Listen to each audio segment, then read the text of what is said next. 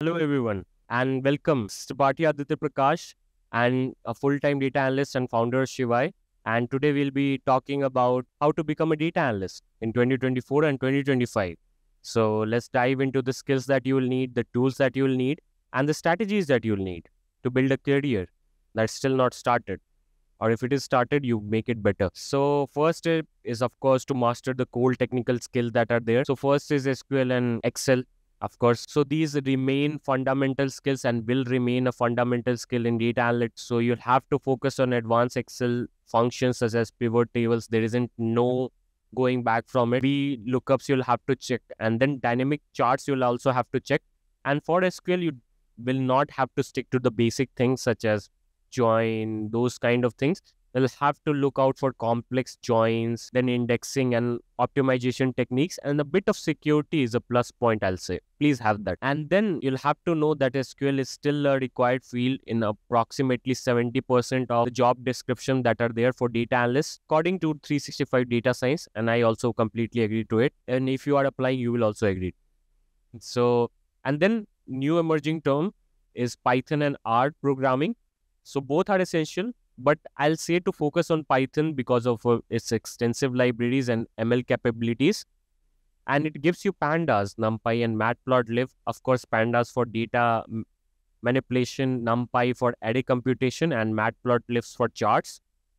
And in 2024, 2025, also Python integration with tools such as ChatGPT for EDA, that is exploratory data analytics, will give you even more edge over others and is very crucial nowadays.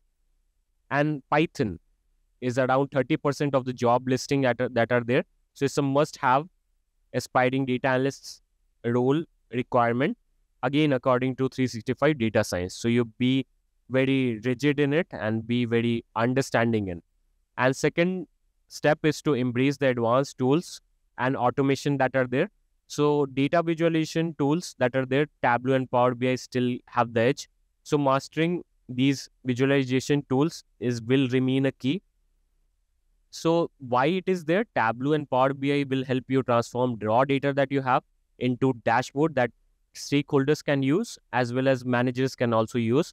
So companies will value analysts who can build, you know, real time as well as intrusive dashboards that will turn the insights that we have into actual actions. So we practice this by building dashboard with complex data sets. Again, I will not recommend it, but you'll have to go that route. Then COVID vaccination tracker or sales performance, I'll recommend doing dashboards. But again, I'll focus on a real world data set and some data set that actually makes a difference. So I'll suggest do that way. And then automation and scripting, very important thing. So knowing how to automate uh, repetitive tasks that you're having through Python or R is a huge advantage. And it will also give you automating the data cleaning, transformation, and even report generation will be a lot easy because you can't just be a data entry person, right? So you'll have to automate those things. So learn how to use Python in that way. And some libraries are there. OpenPyXL is there that will help you automate this task in SQL.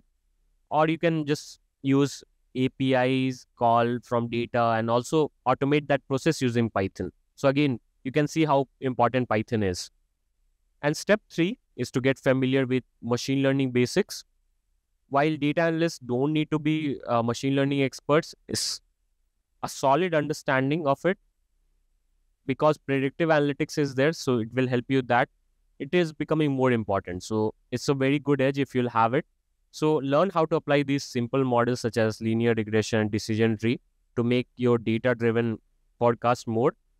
And tools such as scikit-learn will make it applying them really, really easy without going too much deep into data science. So again, scikit-learn is a Python library. So again, Python comes.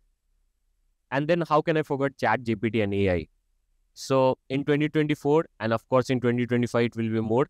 AI tools like ChatGPT are not going anywhere. They'll help you suggest, and they're not taking your job, by the way. So don't say that. So you'll have an edge of automating these EDA tasks. So you can ask tools such as ChatGPT to help you with data profiling, outlier detection, or even suggest you data visualization methods so you can use it right away. And then, of course, you'll have to build a diverse portfolio. There's no going back. And if I haven't said it enough, it is very important that you prioritize projects more over certification. I know in India, certification matters, but projects matter more.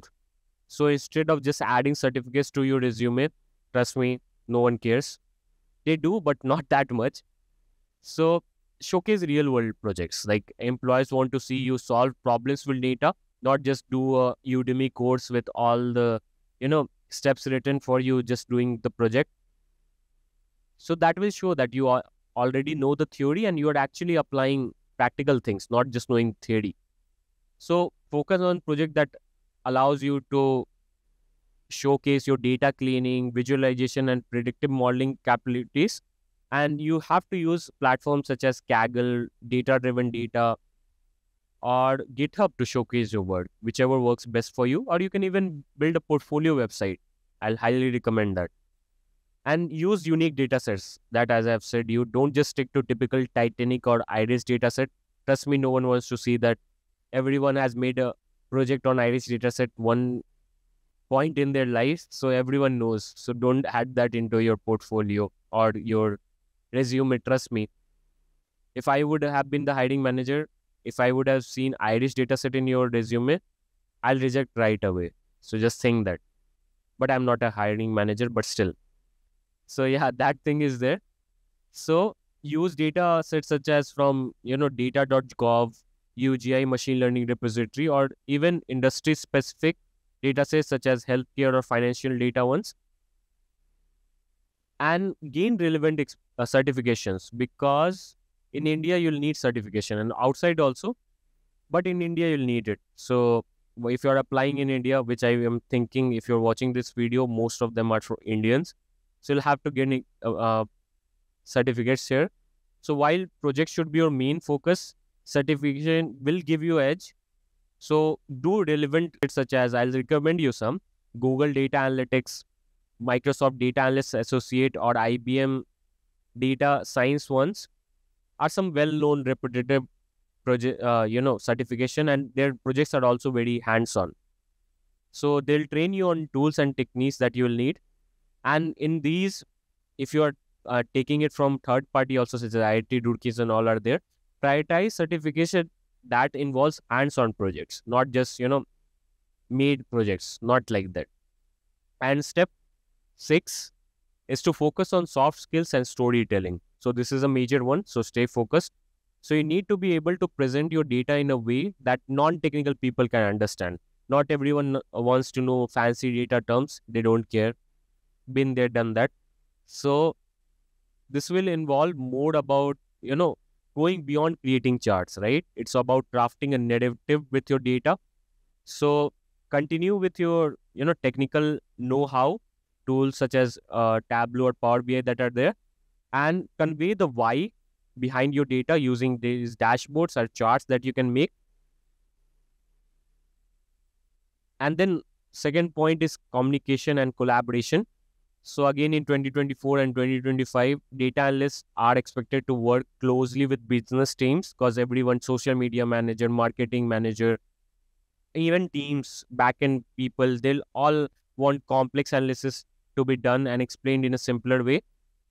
So you'll have to collaborate with multi-functional and cross-functional teams. So you'll have to be understanding of these things. And then step seven is to understand networking and monitoring early. So build your network because uh, networking is crucial. Without it, you won't move the corporate ladder and won't learn new things. So use LinkedIn to connect with professionals that are in your field, data analysts that are there. And I post a lot of content there, so you can follow me there. Just do that. And then join relevant groups. Shivai also has a group. We have a lot of content being posted there. And participate in webinars and conferences. This will help you stay updated on trends and job opportunities that are there. And find a mentor, like seek out experienced data analysts who can offer guidance and feedbacks. This can speed up your learning curves and help you navigate your career path more effectively.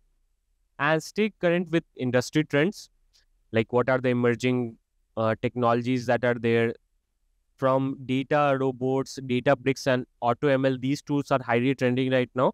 So they'll transform how data analysis is being done.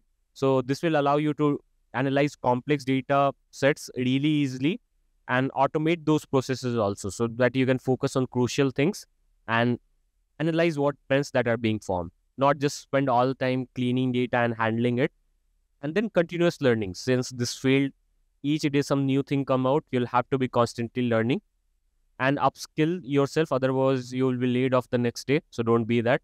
So for platforms such as coursera udemy and 365 data science are good for ongoing education so with that being said all steps are completed i'll keep on posting more about these things so just a thing that becoming a data analyst in 2024 and 2025 requires mastering technical skills, building real world projects, again important, and developing your communication skills. So if you start now and follow these steps, you will be well on your way to become a successful person in career. And it is it will be a fruitful one, of course. So thanks for watching and don't forget to like, share, and comment below. If you have any questions or you are an aspiring data analyst, do let me know.